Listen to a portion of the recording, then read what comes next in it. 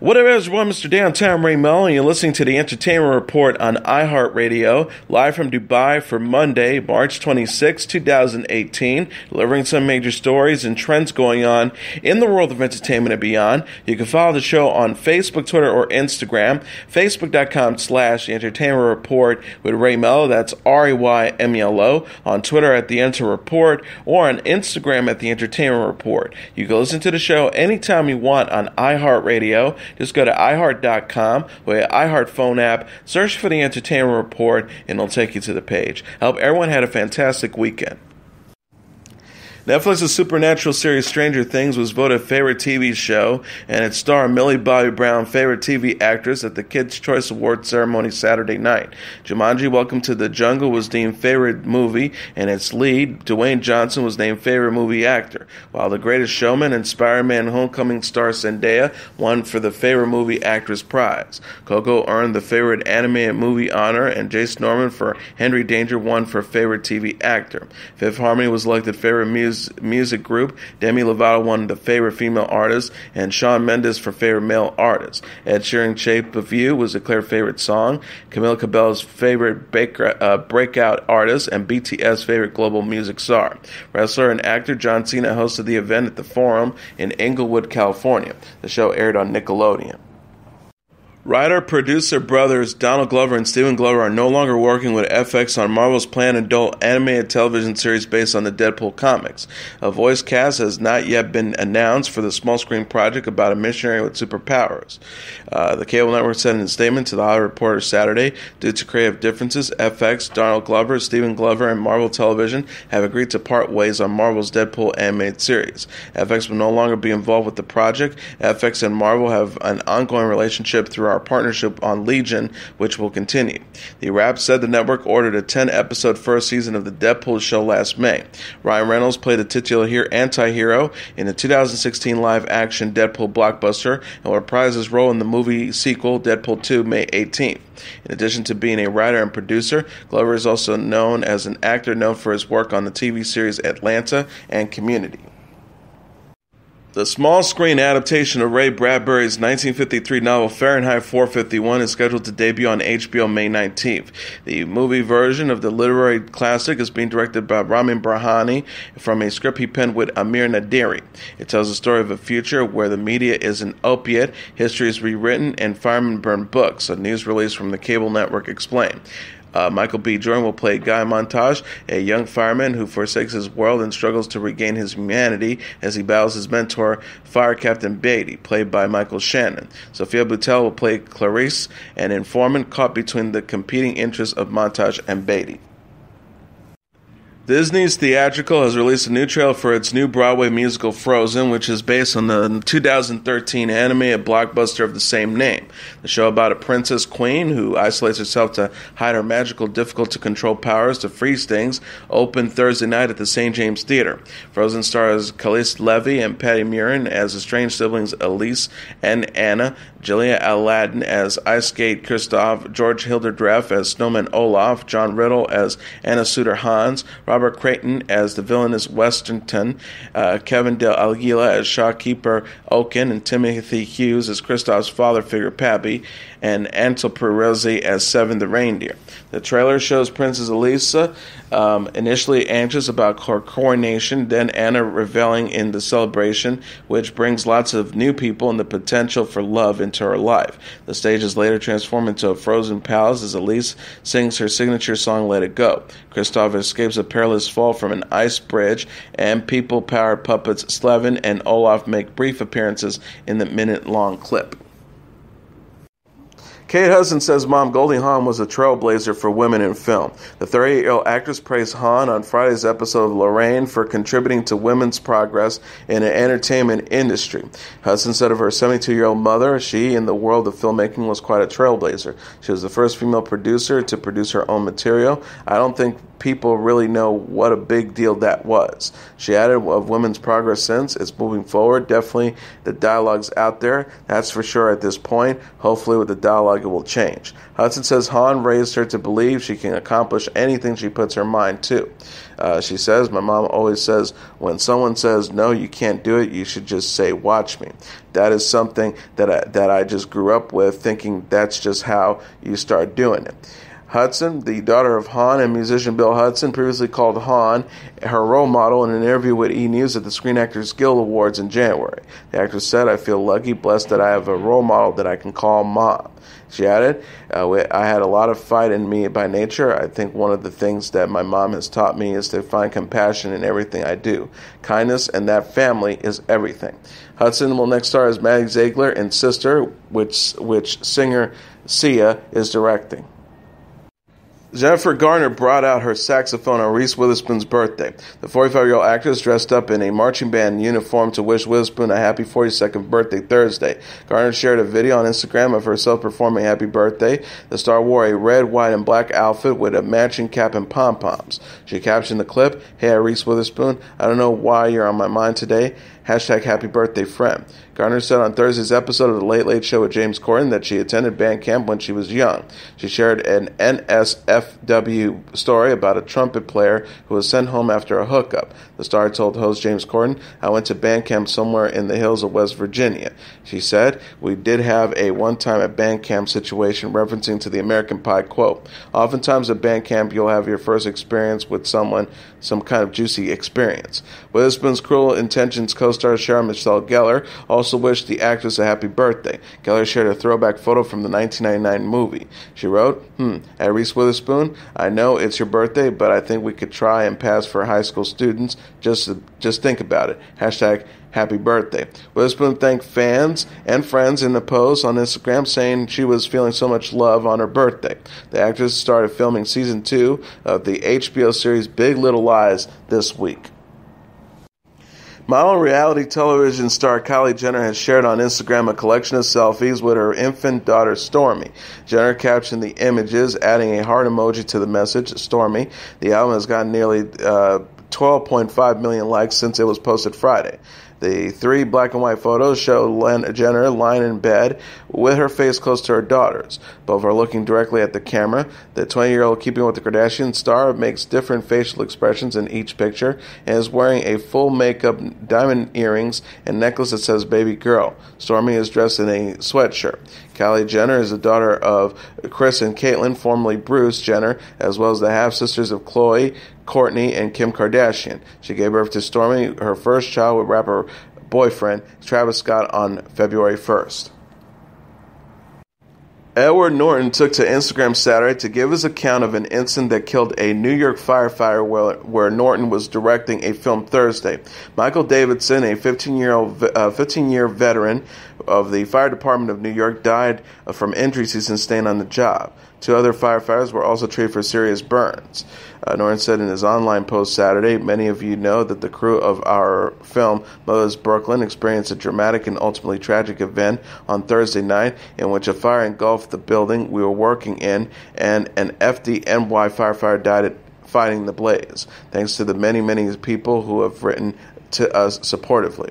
Norton wrote and is directing a 1950s set noir thriller. He also stars alongside Bruce Willis, Gugu Mbatha-Raw, Willem Dafoe, Alec Baldwin, Cherry Jones, Ethan Suplee, Leslie Mann, Josh Pais, Fisher Stevens, Michael K. Williams, and Robert Wisdom in the, movie, which was inspired by Jonathan Lethem's novel by the same name. Norton went on to say in his Instagram message that media reports stated that the fire started on the set of his movie are incorrect. He explained it appears to have started in the basement cellar of the building where we were working in. We were filming in a bar and an apartment within the building, and our crew noticed smoke rising up into where we were working. Norton also disputes accounts, crediting him with being the first to, first one to smell smoke and raised an alarm. Uh, he continued, This is incorrect. I was outside setting up a shot outside the building. Our fantastic first assistant director was the first to notice the smell of smoke before anyone else saw it, and it was he and others on the crew who acted decisively and quickly try to locate the source of the smoke, evacuate cast and crew, call the fire department, and then rapidly move our equipment and vehicles away so that the FDNY had clear access. I cannot praise the professionalism of our crew highly enough. Had our team not noticed the situation and responded and alerted the fire department with the speed they did, I believe the residents of the building above would have perished. And though we describe what we saw the FDNY do in our statement and articulate our feelings, it were, it's worth doubling down. I've never witnessed firsthand that kind of bravery. I'm in awe of that kind of selfless courage. It's devastating to contemplate that one of the men we watched charge in lost his life. Prayers sent uh, to thanks for the spirit and courage of Michael Davidson. Our team is committed to honoring him and assisting his family, and in due course, when we can determine with his family what form they like to take to that, uh, I'll pass along any information I have about a verified way people can contribute. Stanley Tucci and Felicity Blunt are expecting their second child. Felicity, a literary agent, showed off her baby bump Thursday at the New York premiere of Stanley's movie Final Portrait. Felicity, who already shares three-year-old son Mateo Oliver with Stanley, wore a colorful striped dress with an Empire waistline. The expected mom was all smiles as she posed for photos with Stanley on the red carpet. Felicity and Stanley were joined by Felicity's sister Emily Blunt and her husband John Krasinski, as well as Blake Lively and Ryan Reynolds. Blake cradled Felicity's growing belly during a sweet moment with Felicity and Emily. Stanley told Us Weekly at the event, I'm trying to spoil her, yes, of course, being very attentive. Uh, Tucci, who directed Final Portrait, is also dad to twins Nicolo and Isabel and daughter Camila. He was previously married to Kate Tucci, who died of cancer in 2009, and met Felicity at, Emily, at Emily's wedding the next year. Sally and Felicity wed in London in September 2012 after marrying in a civil ceremony. The actor slated for a number of upcoming films, including Patient Zero with Matt Smith and The Silence with Kiernan Shipka. Filming has begun in Scotland this week on The Victim, a BBC four part drama starring Boardwalk Empire alum Kelly MacDonald and Agents of S.H.I.E.L.D. actor John Hannah. The contemporary legal thriller was written and created by Rob Williams, who credits include The Man in the Highest Castle and Casting Shadows. Its ensemble also includes James Harkness, Jamie Sives, Carla Crome, Ramon Tikaram, Cal McAninch, Chloe Pirrie, and Isis Hainsworth. The synopsis notes Anne Dean is the embryo mother of a nine year old boy who was mor- murdered 15 years ago by a then 13 year old. Having campaigned to be told of the killer's new identity and whereabouts, she is accused of revealing his new name online. But what exactly is she guilty of, and what is she capable of doing in her son's name? The miniseries is being directed by Neil McCormick, who has worked on The Long Walk to Finchley and Complacent. Um, the Elizabeth Kilgarriff, the BBC senior commissioning editor for England and Scotland, in a statement, "Bold, original, and constantly surprising, the victim showcased perfectly our ambition for Scottish drama." Set in Edinburgh and Greenock against the backdrop of the Scottish legal system, Rob's brilliant script will be brought to life by an extraordinary cast that features the wonderful Kelly MacDonald and John Hannah, whilst introducing James Harkness and other exciting rising Scottish stars to the BBC One audience. Logic's Bobby Tarantino 2 is the number one album on the U.S. album charts. Coming in at number two on the Billboard 200 album charts is Lil Yachty's Little Boat 2, followed by David Byrne's American Utopia number three, Black Panther the album music from inspired by number four, and Judas Priest Firepower number five. Rounding up the top tier are the Greatest Showman soundtrack at number six, Migos Culture 2 at number seven, Jimi Hendrix's Both Sides of the Sky at number eight, Ed Sheeran's Divide at number nine, and Post Malone's Stoney at number ten. Country music stars Maren Morris and Ryan Hurd exchanged wedding vows in Nashville on Saturday night after getting engaged in July 2017. The People magazine said it confirmed Morris uh, 27 and Hurd 31 got married this weekend in the city where they met while co-writing a song for Tim McGraw about five years ago. Morris captioned the black and white photo of her and her fiance she posted on Instagram Thursday, writing vows, feeling sentimental AF, and dreaming of this guy being my freaking husband in a few days. On Friday, Hurd released a song he wrote for Morris. Uh, he wrote an Instagram post, I wrote the song for you, played it for you in Michigan the night I asked you to marry me. Diamonds or twine, no matter what, I'll be wrapped around your finger. I love you, MM. Here's to forever. Miley Cyrus, Lin Manuel Miranda, Common, Andra Day, Jennifer Hudson, Ariana Grande, and Demi Lovato were among the recording artists who performed at Saturday's March for Our Lives protest in Washington, D.C. ABC News reported Day sang her hit song Rise Up with students for Baltimore's Cardinal Shehan School at the rally against gun violence. She also teamed up with rapper Common to perform her son's Stand Up for Something. Broadway Titans Lin Manuel Miranda and Ben Platt took the stage and offered a, sma- a mashup of Hamilton's The Story of Tonight and Dear Evan Hansen's You'll Be Found. EW.com cl- reported. Cyrus sang her song The Climb, Hollywood Life reported. Grande, who experienced violence firsthand when a suicide bomber attacked her 2017 concert in Manchester, England, killing, killing 22 people and injuring dozens more, sang Be Alright. CBSMiami.com reported. Lovato performed Skyscraper. Jennifer Hudson, whose mother and brother and nephew were shot and killed by her sister's estranged husband in 2008, closed out the evening with the cover of Bob Dylan's The Times They Are Changing. Student activists, teachers, and others gathered for March for Our Lives rallies around the world Saturday in support to call for end to end gun violence. Paul McCartney said he attended Saturday's March for Our Lives protest in New York in part because his close friend and former Beatle bandmate John Lennon was shot to death. McCartney was wearing a shirt that said We can end gun violence when he told CNN he was at the rally just to support the people. Uh, the 70 year old, uh, the rather 74 year old musician said in Manhattan, This is what we can do, so I'm here to do it. One of my best friends was killed in gun violence right around here, so it's important to me. Mark David Chapman is serving a prison sentence of 20 years to life for gunning down Lennon in 1980 outside his New York apartment building. Chapman repeatedly has been denied parole, most recently in 2016. Student activists gathered for March for Our Lives rallies around the country Saturday to push for an end to gun violence. Film star Will Smith shared on Instagram Sunday a video of him dancing on a boat in Miami with recording artist Marc Anthony. Smith captioned the clip, hashtag bucket list, salsa lessons from at Marc Anthony. Men in Black and Independence Day star did not mention why he and Anthony had been spending time together. People can be heard in the background clapping and cheering as Smith follows Anthony's moves. Video, which has already gotten 2 million likes, ends with the men laughing and hugging. Smith lately has been in Georgia shooting his new action thriller Gemini Man, which is set for a 2019 theatrical release. Pacific Rim Uprising is the number one movie in North America, earning $28 million in receipts this weekend. BoxOfficeMojo.com announced Sunday.